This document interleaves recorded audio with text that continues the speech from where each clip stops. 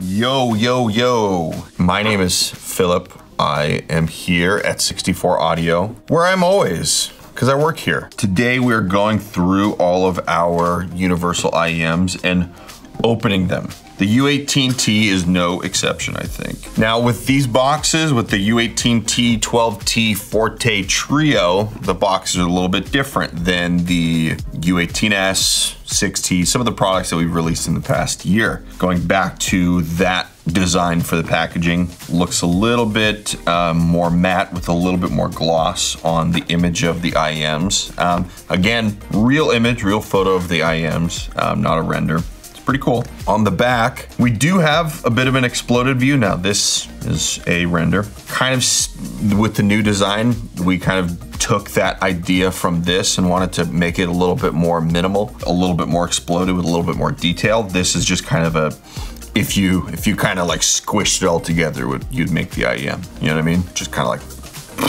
we went with a bit more information about the products right on the package. So you pick it up at the store, you taking a look at it, you read almost everything there is to know about the product on the package.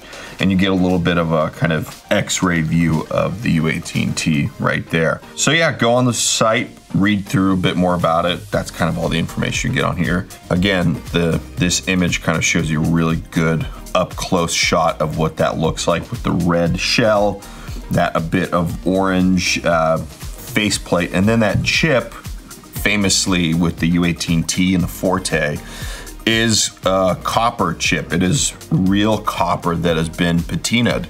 Um, so kind of um, a way of, of expediting that aging process uh, that we use here. So each faceplate is unique. Every single one that you get will be slightly different than than the others, which is, you know is unlike the U12T and the Trio and the U6T, um, where it's all uniform and that's kind of the goal. With this, it's supposed to be unique per ear. So, boom. So, since we filmed the original unboxing videos a couple months ago, we filmed them all at the same time we have actually updated the contents of the packaging for these four models. So to better match the U18S, the U6T, the Duo, and the Neo uh, contents, which we also, that's the most recent one we updated. Um, we heard from our customers. They all really liked the tip holder, the Apex module holder, and especially the new cable. So we just went ahead and updated all of them. And that being said, making the content of the remaining four unboxing videos slightly irrelevant. So we're just gonna cut this part in. Remix, we're, just gonna put this in for all four of them and you'll get a very clear idea of what's in them. And to make that happen, I literally took the units from the retail shelf and this time we'll actually get the peeling off of the of the wrapper, which will add to the contentiness of this content. So, with that being said, this is what's in the boxes for Forte, U18T, U12T, and Trio. Again, very similar to what you'll see in the other boxes, but we just decided to kind of make this very obvious intrusion into the, the video to make it very, very blatant and obvious. So let's do it. Let's open this guy from scratch. We will cut into it a little bit. And we'll start with the Forte. This is a B-stock unit, FYI. Every once in a while we have B-stock units available on the website. Sorry, I should talk while I'm not doing this. We have B stock units available on the website in a special section of the website where they're usually 20% off retail. So that's, you know, minor cosmetic imperfections or a return that's been refurbished. But yeah, check out that section. Anyway, back to the noise.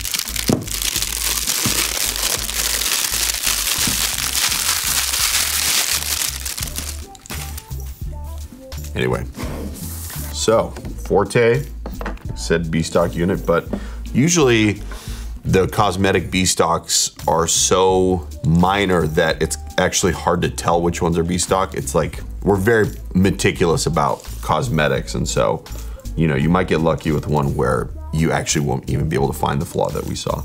So yeah, here it is. The Forte packaging, as well as the others, has been updated to look like this. Like I said, um, it's very similar to the U18S, which kind of started us on this whole um, adventure with the, the new leather case, the the tip holder. Like I said, the tip holder was actually kind of designed around the same time as the U18S, so it has that kind of crystalline looking structure to it. Um, but yeah, so what you get is the along with this new um, actual foam cutout, which the foam cutout used to be a um, a cutout of the actual IEMs with the cable attached to it. Not anymore. Now the foam cutout is uh, the two circles for the two halves of the leather case. So we start with that. We start with the, whoops, try that again. The contents are put in there in the shape of these two sides of the leather case. So we'll start with the top half of it, which has the um, tip holder. And the tip holder is made to hold um, three different types of tips in three different sizes. So a pair of a pair of each. Um, we have our True Fidelity foam tips, which are kind of a unique foam blend that we've been using for a while. It's great for just kind of pushing them into place. They don't necessarily need to actually like squeeze them first and wait for them to expand in your ear. That's kind of why we like them so much. You just kind of put them on the IEMs and you just seat the IEMs. You kind of nudge them into place and they kind of have enough give to go into place but also to stay there. And this particular foam tip I actually like using personally um, with IEMs where the high end is, is, or the top end, the high frequencies are very important on how you perceive them. For example, the Forte and the U18T especially, uh, I like using the foam tips just because it, it doesn't accentuate the top end any more than it than it already is. As opposed to our next one, the spin fit tip, which adds a little bit to that. You know, there it essentially extends the the nozzle of the IEM just because they sit over the over the in ear, giving a little bit more space. So it kind of creates a a horn for the high frequencies. The spin fit tips, I end up using them for um, IEMs like Trio, like Neo, U18S, Duo. I, I actually like kind of what it does in certain circumstances. And to me, they're the most comfortable. They feel like they go into place the easiest and stay there the, the most consistently. And then our favorite little silicone tips. These are the ones that we've been using for a really long time. These are probably the most accurate of the tips um, the kind of wide nozzle version, they sit right down to where the nozzle of the IEM ends. And yeah, that will give you the absolute most accurate response. That's what we test with. That's what we develop the IEMs with are these wider nozzle uh, silicone tips. So yeah, give them all a try. It's nice to have all three of them just because, you know, especially with the IEMs that have removable apex modules, you have all of those to um, to change your frequency response as well as these three versions of the tips. Each one of them will give you a slightly different flavor. And, you know, if you're listening to a rock track, you might use one. If you're listening to, you know, really electronic track, you might use another. I would really encourage people to actually delve into these a little bit more, which I, I think the audiophile community needs no more encouragement as far as tip rolling. That's a very, very long and difficult subject. So the new case, the previous case was kind of a dark gray almost, uh, could be seen as brown in, in certain light. This one is straight black, this leatherette, um, I think it's bonded leather. Um, it has our logo printed onto it, has a nice kind of felt lining. It's a rigid case, you know, it's it'll it's tough. It'll actually keep your IEM safe, but it's nice. It kind of matches the the sense and the feel of the IEMs more than uh, say our previous case, which was a custom uh, plastic case.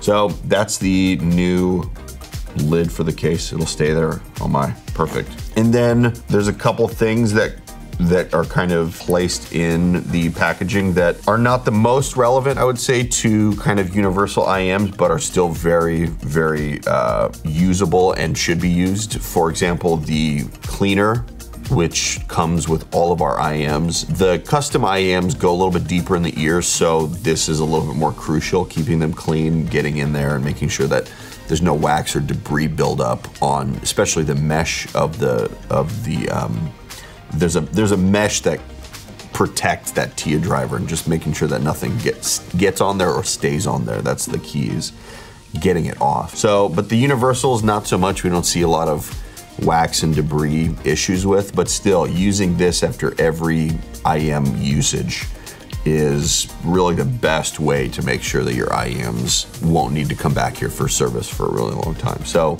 yeah, it's got the brush, got the little wire cleaner on the end of it.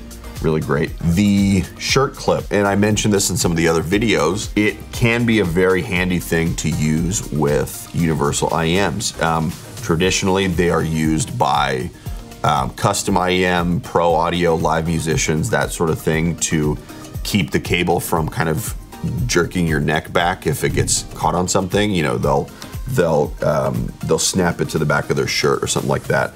Um, but for this use, it's great for cable microphonics.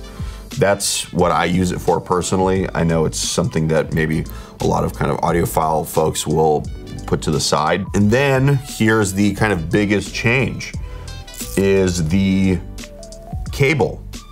This is something that, you know, I I regret that you won't see this part of the other videos that we shot because I made a pretty good case for our old cable. Um, but now we don't have to visit that anymore. I will make a case for this new one. This new cable is amazing. Um, it's been very well received by our customers, the audiophile community. You know, it's a it's still similar to our previous cable. It's still a very high quality wire. The actual what it's actually made up of, extremely low resistance, silver plated copper. You know, something that does the least amount of impact on what the IEM is supposed to be right out of the box. This cable is, you know, it's something that would compete with any of the third party cables that you might find out there. And it's branded and it looks great. You know, it's got a um, a straight 3.5 millimeter end that has our logo on there. Um, I believe it's aluminum. And then on the bifurcation end, same sort of thing, this metal bifurcation with our logo printed on there. These come terminated in 3.5, that's standard. If you really feel like you want a different termination, I would just reach out to info at 64audio.com to see if we can, you know, send you a unit with a different end to it. It would probably be a little bit of an upcharge for, you know, 4.4 Pentaconn or a, or a um, 2.5 millimeter balance. But yeah, the cable is a lot softer. It's a, got a little bit more of a thicker feel to it. Um, definitely a lot less prone to tangling. And then the big one, no memory wire. Um, you see it's kind of wrapped to give that that natural curve to the end of it, which is great because it'll you know still go in the right direction, but there is no actual metal wire that's that's giving it that that shape. So that's a big one. I know um, folks in this space were very much against the memory wire, although I feel like many of them didn't give it as good of a, as big of a chance as they should have. Sometimes I like it too. Sometimes I don't. But these new ones don't have it. You have that classic 64 audio two pin connector, 0.78 millimeter in diameter. The pins are, that's very important to remember about our universal products. That's the size of the pin socket. Yeah, that's kind of that. This part of it looks very familiar. It's the basically the exact same thing. And so with the Trio and Forte, you are missing one thing, and I'll show you in the um, in the other packaging what you get. Um, but that's that's it. We've also updated this little message. Uh, it no longer says what it used to say. I think it was like 64 fam. Now it's our kind of tagline here, feel create. This little guy pops out and the ears come nicely situated in this custom foam insert. And the one thing that the 12T and the U18T have is, I'll actually, whoops, show you. It's this Apex module holder. So originally developed to release with the U18S. You can actually see this one is from a U18S. It has those branded Apex modules. Not sure if you can see that. Um, but yes, the U18T and the U12T, along with the other IEMs that use uh, replaceable Apex modules, come with the Apex module holder and as well as you know these other accessories. Oh yeah, don't forget the sticker.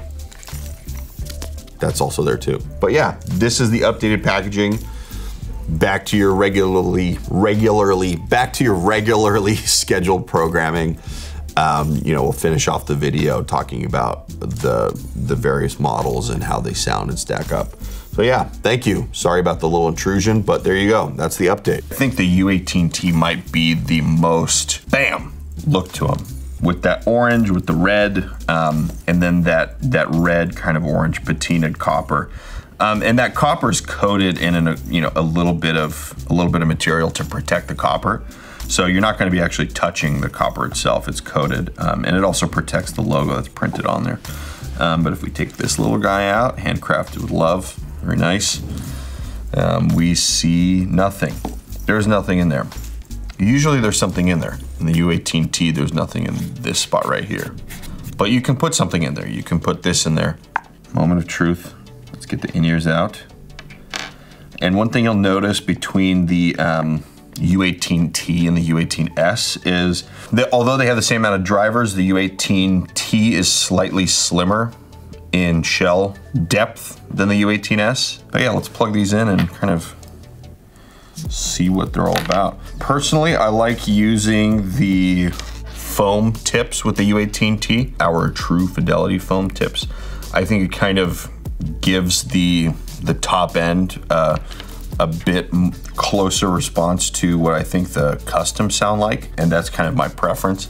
One thing that people will definitely notice going between customs and universals, whether it's the retail units or the demo units in certain cases, is you will have a perceived difference in frequency response. And they are made identically the same, the components are the same, they test virtually the same, but the shape of your ear is different. With the U18T, I like to get them as deep in as possible, as, as really as focused in in my ear canal as possible to get my desired high frequency response out of them. You know, with some of the other tips, some of the other uh, silicone tips, like the spin fits we carry in some of our other models, I think the top end is a bit too much for me, but that's for me personally. And I like using these with the M20 modules to put them on.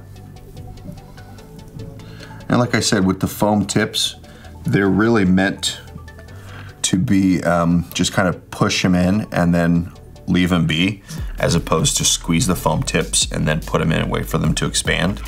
That's why we like these so much and we kind of chose this material for them.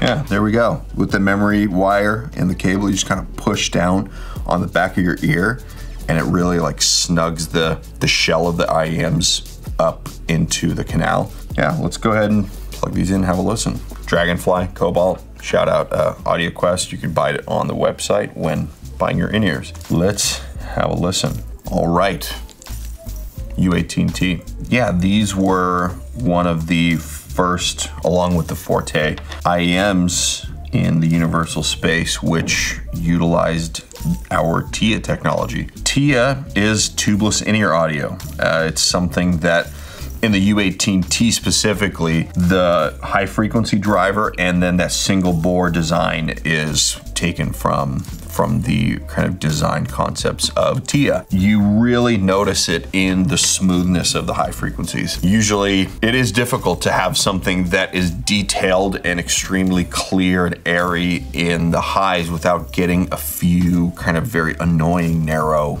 peaks. That's something that TIA solves, I think, in my opinion, um, especially if you can get them seated in properly. Uh, they, these are a what I would consider as close to a reference monitor as possible, just in terms of flat out response and you know flat out perceptually you know the way that you hear them is as close to a mastering engineer's monitor as I think you could possibly get. I think that's where the U18T sits. I've personally been using them, you know, years before I even worked here. I love this model. I think it's there's a reason why it kind of was a major contributing factor to putting us where we are now, kind of elevating the brand. Check them out for yourself. These have been around for a few years and they're still super relevant and they sound amazing. Have a listen, find them in your local shop if you're internationally or if you're um, domestic. There are some domestic retailers or reach out to us and yeah, have a listen, have a look. There they are, U18T.